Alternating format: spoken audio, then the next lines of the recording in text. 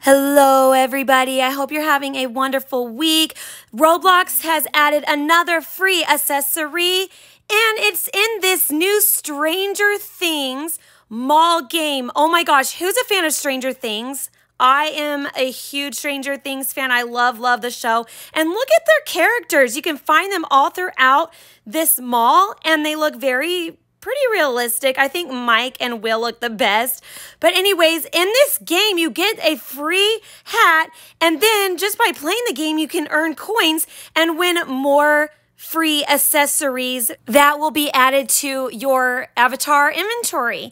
So, yeah, this game is still in beta. There's going to be a lot more added, and I'm just really excited to see where this game goes and what kind of stuff that you can buy from it. There's supposed to be different things that you can buy from the shop for your avatar.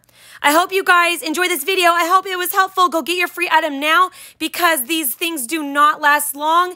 As you guys know, the In the Heights had the emotes and you cannot get those emotes any longer. I'm so sorry, guys. I hope you go grab the stuff from this game now and I'll see you guys in the next video. Bye!